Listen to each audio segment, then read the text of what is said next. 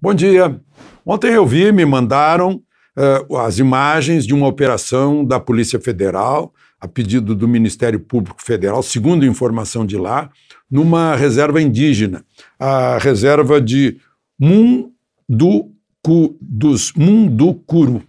Né? O estranho é que seria uma operação de combate ao garimpo.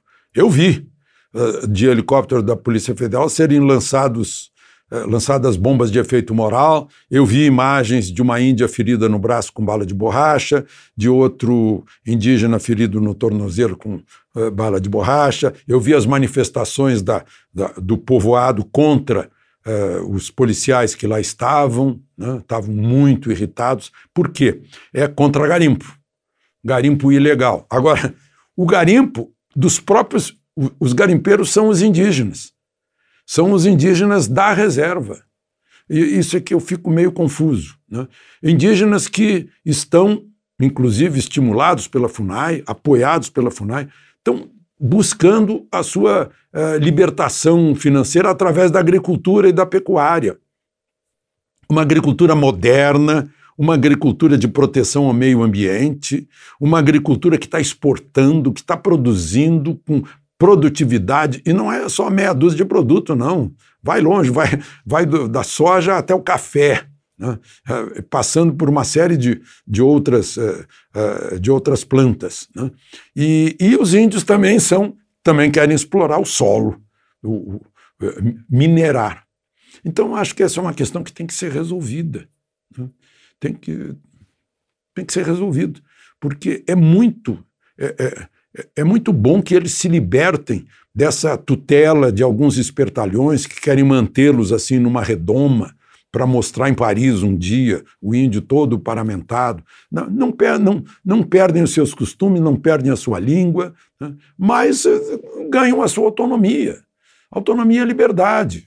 Né? Para fazer comprar o que quiserem comprar. Quer comprar televisão parabólica, automóvel, caminhonete, picape. Né?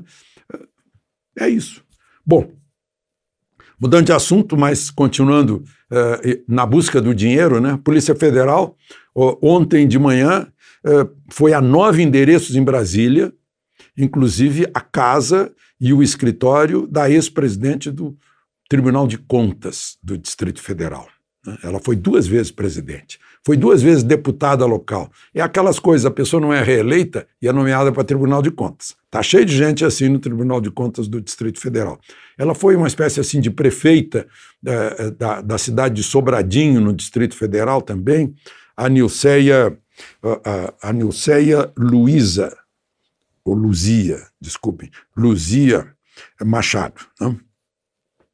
Ela e, e mais sete pessoas envolvidas, dois inquéritos, foi autorizado pelo Superior Tribunal de Justiça, Operação Pacari, da Polícia Federal. Pacari significa é, pacificar, amansar, né? Talvez seja amansar com dinheiro, porque os crimes de que fala a Polícia Federal na Secretaria de Saúde são de peculato, corrupção, prevaricação, advocacia administrativa, falsidade ideológica, uso de verba federal em licitações. Foram 39 agentes uh, aplicados nisso.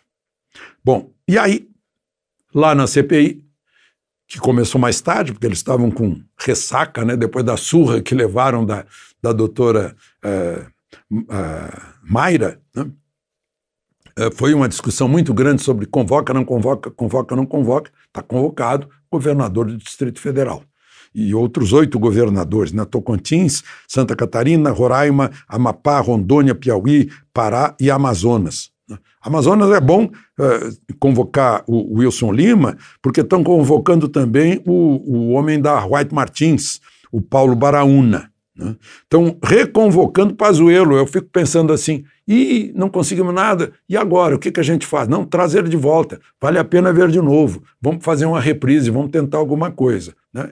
realmente vale a pena ver de novo. Né?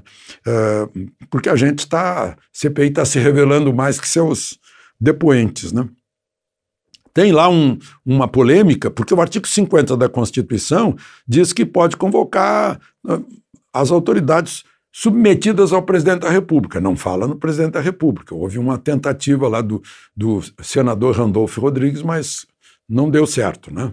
Ele queria uh, desviar um pouco a atenção dos governadores com a convocação ao presidente da República. Teve gente ontem de manhã, no, meus coleguinhas do, dos meios de informação, né, ficaram excitadíssimos, noticiaram assim, urgente, urgente, urgente. Só que esqueceram de ler a Constituição.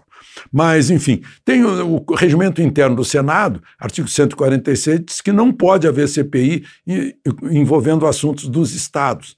Né? Só que esse não é um assunto do Estado, é um assunto de verba federal. Por isso mesmo, o Tribunal de Contas da União vai até o município, atrás da verba federal. Né? Então, estão aí convocados. Uh, o, o, eu acho que o governador do Piauí uma boa convocação, porque tem toda essa questão aí de respiradores da, do consórcio do Nordeste, mas faltou convocar o Carlos Gabas, que era o, o secretário executivo do. Era e é, né? E não conseguiram convocar o Silas Malafaia, o, foi proposta do, do senador Marcos Rogério de Rondônia, porque queriam conversar com quem desse conselho para o presidente. Aí o senador Flávio Bolsonaro disse: olha, o Silas Malafaia dá conselho para o meu pai, do liga toda hora, né? convoquem. E aí o, o, o senador eh, Marcos Rogério tentou convocar e o, e o presidente da CPI respondeu para ele o seguinte: eh, esse, esse homem é um religioso seguido por muita gente que acredita nele. Eu vou indeferir. então, se tiver muita gente que acredita no depoente, ele indefere. De Brasília, Alexandre Garcia.